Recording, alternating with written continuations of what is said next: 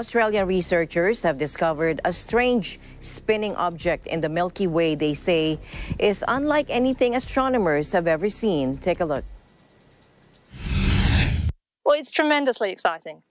To find an entirely new class of object, that's just incredible. In my life, I've discovered a pulsar, a radio galaxy. I've done huge surveys across the whole sky and found all sorts of interesting things, but they were all known types of objects.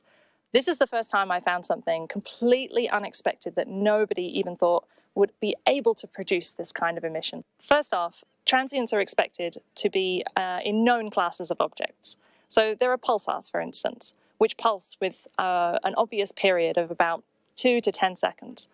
There are gamma ray afterglows, which come up over the course of weeks and then disappear over the course of months. So there are these known classes of object. Our source has a periodicity of 18 minutes. On the dot, every 18 minutes, plus or minus a little, it repeats. Now, this is completely unusual because there are no known classes of objects which can do this.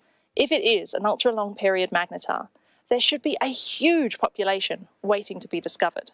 The key thing here was that nobody knew they would emit in the radio. Now that we know it's possible, the windows are open, we can look out and find this incredible hidden population.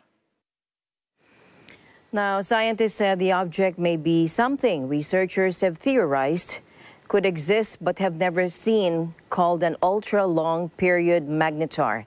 It could also be a white dwarf, a remnant of a collapsed star.